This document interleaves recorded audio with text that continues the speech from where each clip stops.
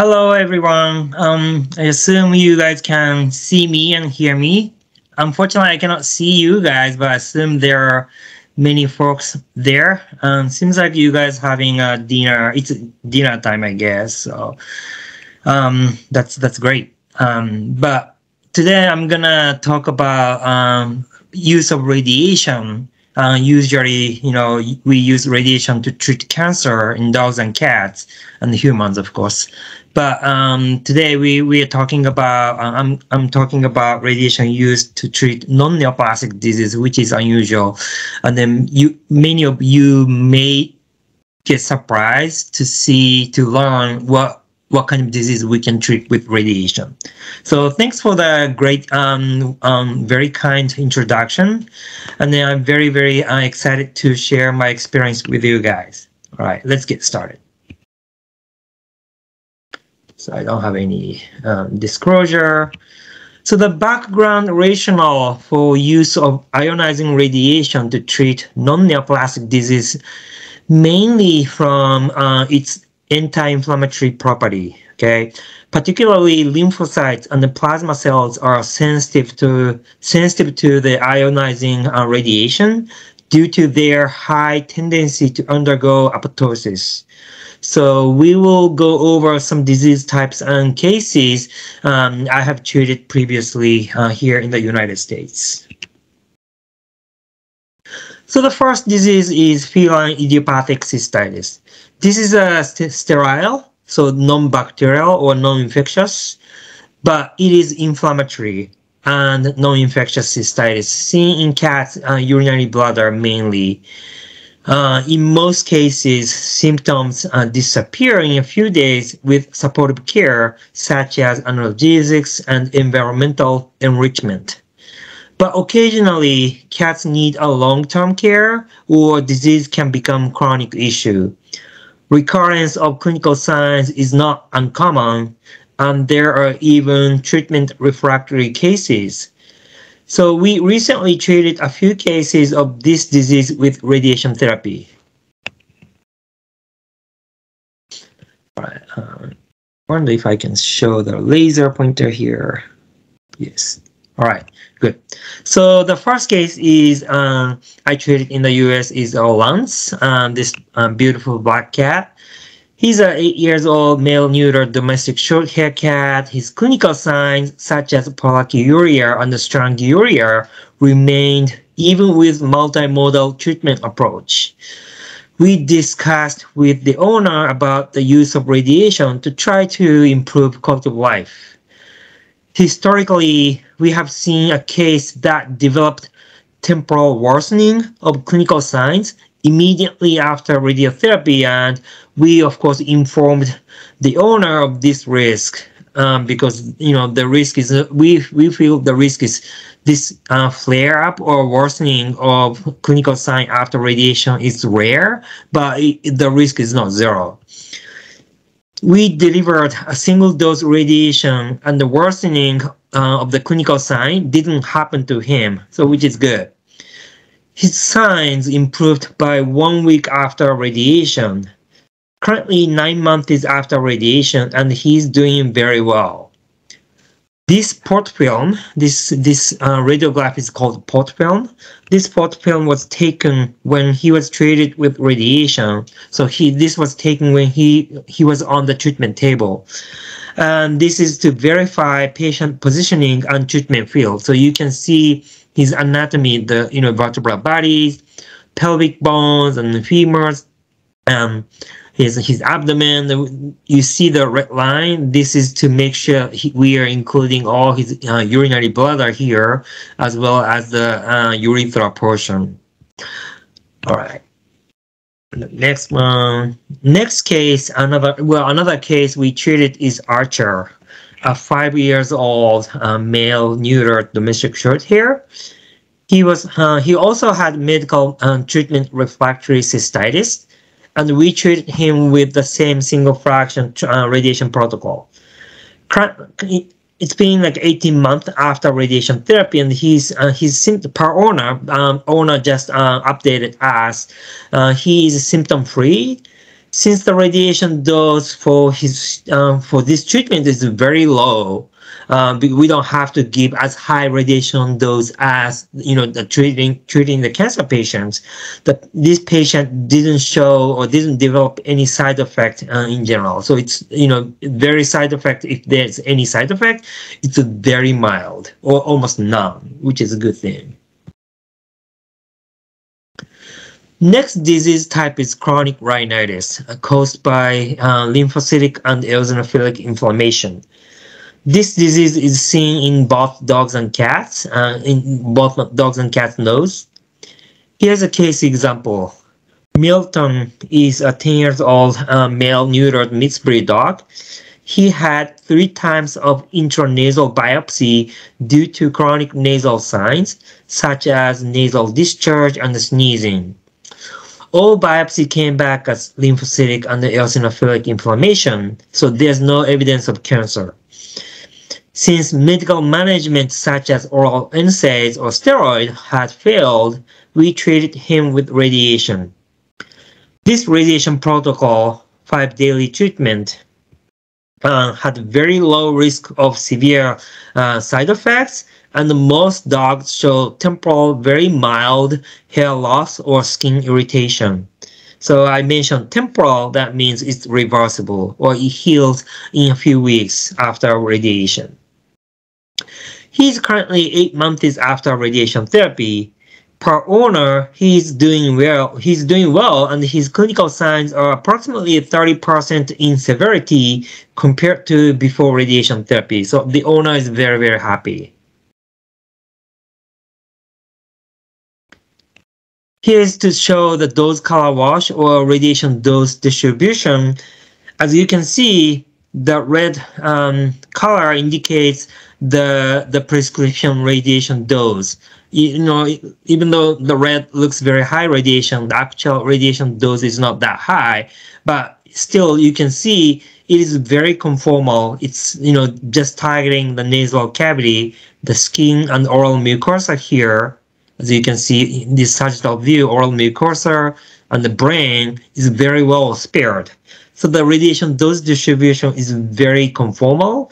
And then that's kind of why uh, we don't see, that's another reason we don't see uh, side effects. You know, the another reason, as I mentioned, is the radiation dose is already very, very low. But that is, the, that low radiation dose is adequate enough or high enough to kill or suppress the inflammation in the nose. The next disease type we discussed today is meningo meningoencephalitis of unknown origin. It's a long name, but we often call MUO in short. This disease has many, uh, many different names such as GME and NME as I listed here. Probably you have seen or heard these names before. Overall, the common finding among those different disease names include accumulation of inflammatory cells within the central nervous system. As you know, the exact cause of the disease is unknown and the medical treatment such as immunosuppressive approach typically fail or if it worked, usually for only for a short period of time. The um, previous reports indicated that radiation therapy may be able to help improve symptoms and the quality of life. Here as I showed. So cases that received radiation had a longer survival time in one study. So with radiation, the survival time was 13 months versus without radiation was only 3 months. A different study showed that dogs with focal CNS clinical sign, so focal neurological sign, um, the those dogs did better than dogs with multifocal CNS, um, sorry, um, central nervous system uh, clinical signs. So more than 30 months in with the focal sign versus uh, only two months in uh, with the in, with in the dogs with multifocal or like a generalized brain symptom. I don't have a case example of this MUO um, radiation therapy, but um, I just don't have the case or photo. But we treated one case and it went, it went well. So I'm I'm sure this this radiation protocol works very well. The next disease type is osteoarthritis. One of the uh, one of the cases I treated in the U.S. Maddie, I sorry I don't have photo, but I can I will show you videos in the next slides. Maddie is um she had she's a, a seven years old female spayed Labrador Retriever. She had bilateral elbow osteoarthritis her symptoms uh, were worse and more obvious when she walks on the stairs, which I, I will show the video in the next slide, as I, as I said. She exhausted all medical management options and we treated her with low dose of radiation, tried to alleviate her clinical signs. We informed the owner that this radiation may not cure her symptom, but we are with the hope that radiation will improve her quality of life. So let me play the video. I think I have to cancel my laser pointer. All right. So this is before radiation therapy. So her symptom is not that bad when she's walking on the flat surface. But as you can as you can see, she's doing this head bobbing, um, walking uh, appearance. As you can see, she's a little beast. All right, so this is before radiation. This is after radiation. We should have taken the video on the same surface, but um, this time, uh, I don't remember why, but maybe raining outside or some reason, we, we took video inside. Wagging tail, she's very happy. Uh, you still see some uh, lameness that's not that bad, but this is actually way more obvious when she's on the stairs. So this is before radiation therapy. She's very uh, she's very reluctant to go stairs. Show me one more time. So very slow on the stairs. And then this video is the same um, three weeks after radiation.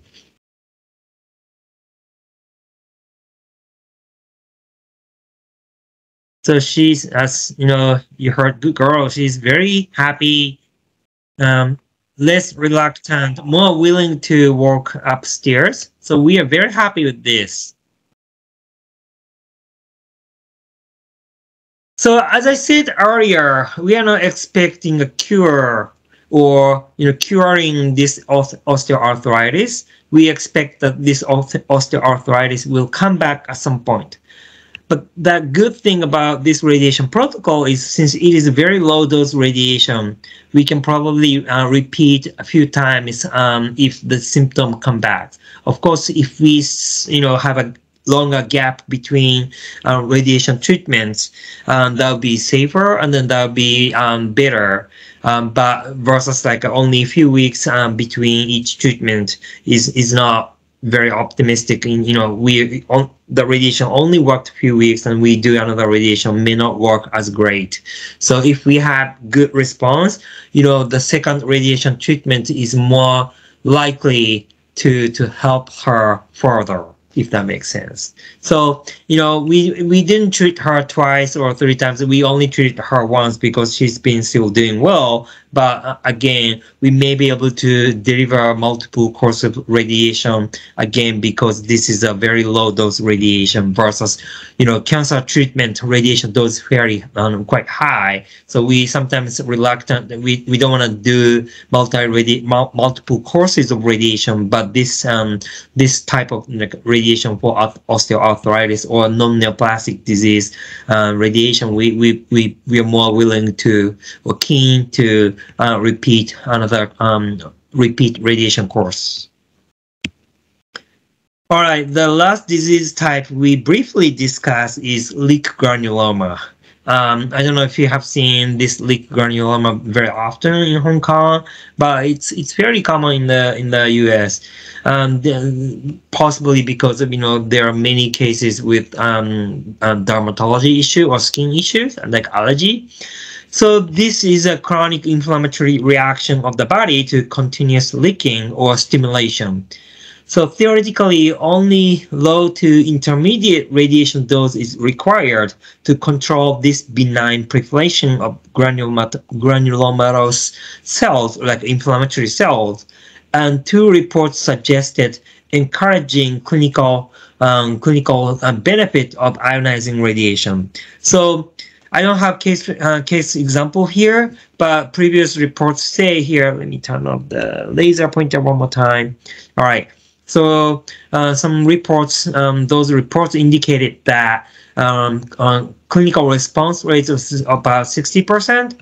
Um, surprisingly, 35% um, cases cured, and then 25, 24% recurred. Unfortunately, six um, the the the duration between radiation therapy and the recurrence uh, ranged uh, between six weeks to almost a year after radiation. So that is a huge variation. So we don't know when that symptom or lick granuloma recurs, but it is encouraging to see 60% of the clinical response and then 35% were cured. This is a great thing. You know, obviously surgery, you know, if that is a happening granuloma happening here, surgery with a good margin is almost impossible because the skin closing or wound closing would be a concern. So, you know, only, even though it's, it's not like a 90% cure, it's only 35% based on those old papers. You see old papers at 89 and 93, but it is encouraging. So we are happy to try this treatment if, you know, there are cases.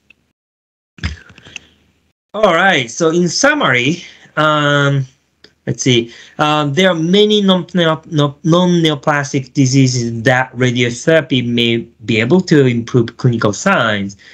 Since radiation dose required to control inflammation is thought to be lower than that for malignant neoplasia or cancer, uh, side effects are typically non to mild, which is good.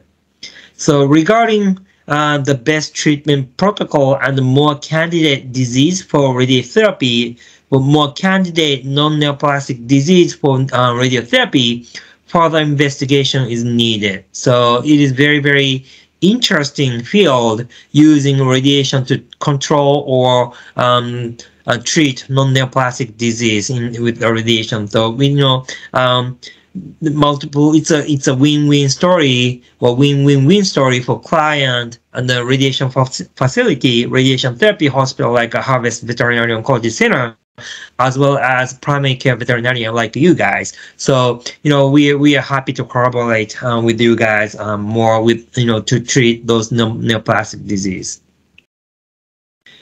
all right that's it for today uh, um it was a little short um, presentation, but um, since I cannot hear from you guys, but uh, if you have any questions or any uh, concern or any or comment, uh, comment, feel free to email me. Um, I'm happy to collaborate or um, chat with you guys.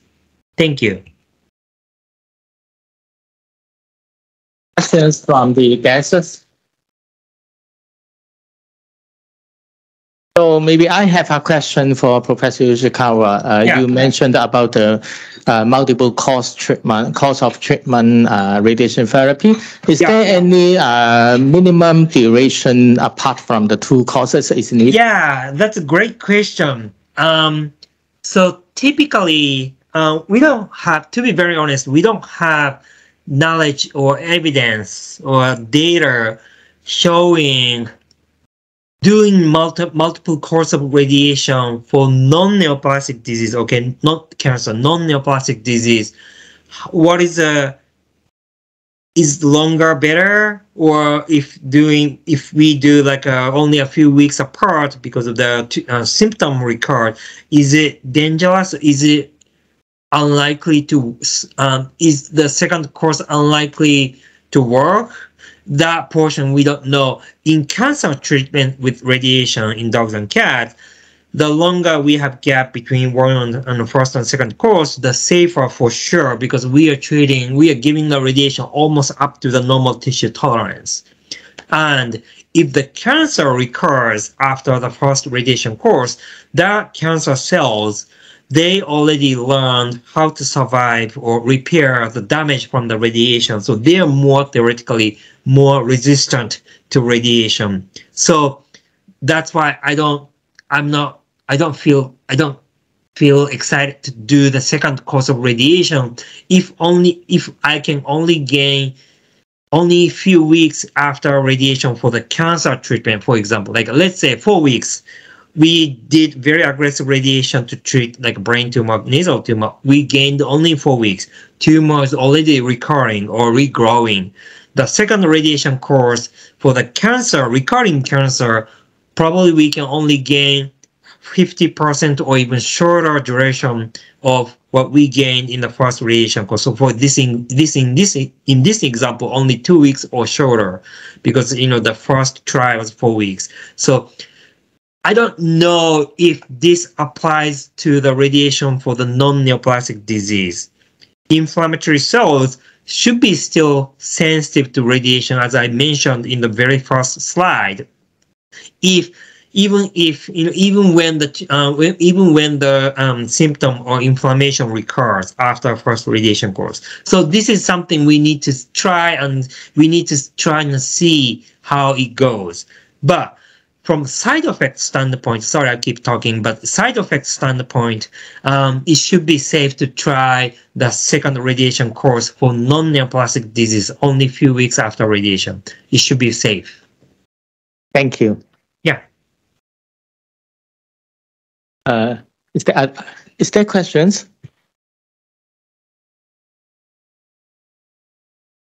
I don't know. I don't think you mentioned any um, consideration about the risk of giving ionizing radiation in a young patient with a benign condition. Do you?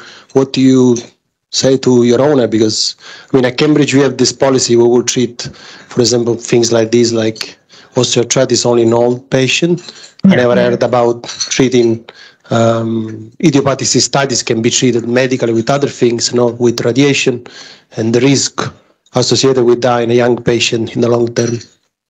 Thank you. Yeah, great question. Thank you. Thanks for the question.